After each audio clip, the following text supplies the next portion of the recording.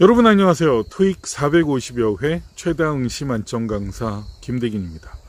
반갑습니다. 9월 24일 파트 5 공포의 불토익 용암 토익이었는데 그 중에 이 문제 틀리는 줄 모르고 틀린 사람도 많습니다. 명쾌하게 해설해 드리겠습니다.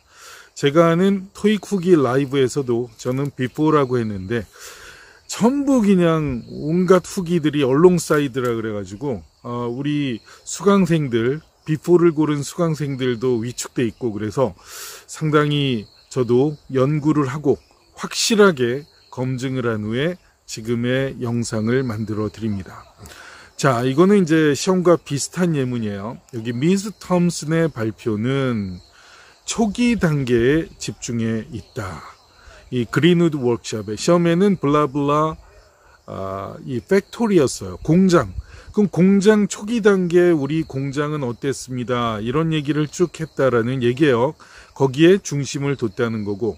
근데 그 뒤에 보면 자동화된 도구와 기계예요. 이거는 첨단 시험에는 computerized 블라블라 뭐 이렇게 나갔을 거예요. 근데 기출을 좀 비슷하게 복원해 드린 거예요. 분명한 거는 시험에는 computerized가 나왔어요. 그러면은 automated 해갖고 좀 비슷하게 단어를 만들어 봤는데 이런 자동화된 도구와 기계는 최첨단으로 요즘에 있는 겁니다.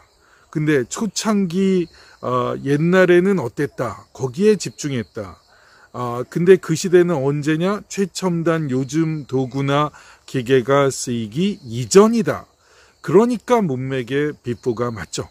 그런데 alongside를 넣으면 문법상은 틀린 거 없어요. 근데 뭐와 함께 뭐 중심을 어디에 뒀다. 근데 그 근거가 없어요. 이게 동시대가 아니란 말이에요. 그러니까 뒤에 나오는 automated tools와 machines는 나중에 있는 최첨단의 요즘 시대고 아, 그 이전에 초기 단계에 대해 집중해서 이 사람의 발표가 있었다라는 문맥이 맞아서 정답은 B번이 됩니다. B4가 맞고요.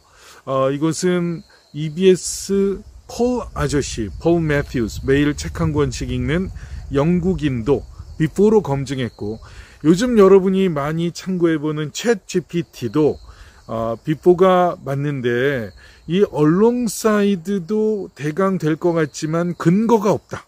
아까 근거라는 것은 이게 동시대라는 근거가 없다는 거예요. 이게 시대가 달라요. 뒤에 내용과 앞에 내용이.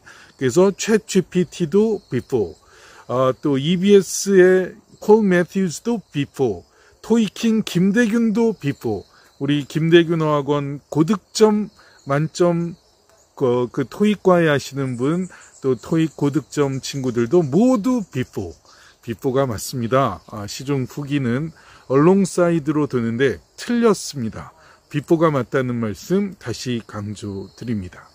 인생은 즐겁게. 토익은 김대균과 함께. Thank you 감사합니다.